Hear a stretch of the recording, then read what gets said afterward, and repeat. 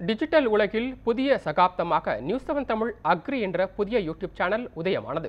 தமிழ்நாட்டின் முதன்மை செய்தி தொலைக்காட்சிகளில் ஒன்றாக விளங்கும் நியூஸ் செவன் தமிழ் செய்தி தொலைக்காட்சி பொறுப்பும் பொதுநலனுடன் செய்திகளை வழங்கி வருகிறது.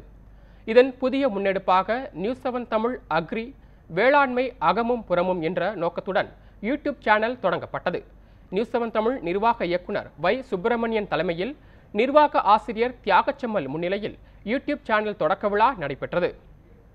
இதில் திரைப்பட இயக்குனர் சீனு ராமசாமி ஆட்சி குழும நிறுவனர் பத்மசிங் ஐசக் உள்ளிட்டோர் பங்கேற்றனர்.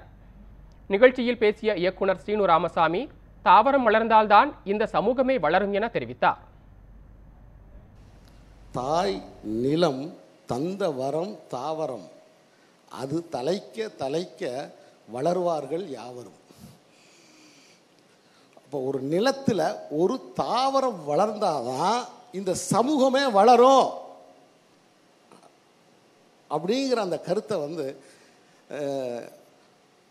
மாமேதை எம் எஸ் விஸ்வநாதன் அவருடைய குரலில் அந்த பாட்டு எனக்கு வரும்போது நினைவுக்கு வந்துச்சு.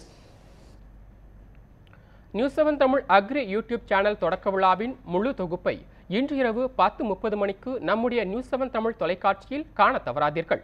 அத்துடன் விவசாயம் சார்ந்த செய்திகளையும் லாபகரமாக விவசாயம் செய்வது எப்படி என்பதை அறிந்து கொள்ளவும் News Seven Tamil Agri YouTube சேனலை சப்ஸ்கிரைப் செய்யுங்கள்.